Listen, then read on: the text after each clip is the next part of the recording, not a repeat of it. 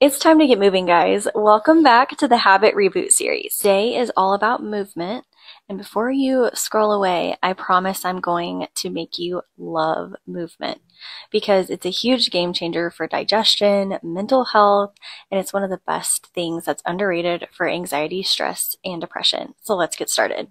Now, there's a couple of things that I do that makes movement so much easier and more enjoyable. The first thing is having a very good playlist. The second is having a great mocktail or a water that is in a cute little bottle that I can take with me to the gym or on my walks. And the last thing is you have to know what you're doing for the day for your workout before it starts because if you don't, then you're just sitting there and you're like, I don't know what to do. So have it written down in the notes app on your phone and it will help you stay more consistent in the gym and in your workouts. So figure out what it is that you want to do for your workout. Do you want to watch a YouTube video and do it with them?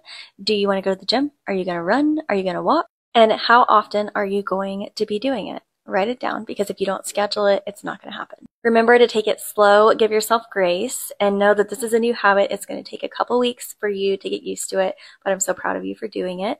And make sure you follow along for the rest of the Habit Reboot series. If you're not in our broadcast channel up here, make sure that you join it for extra support, and I will see you on the next one.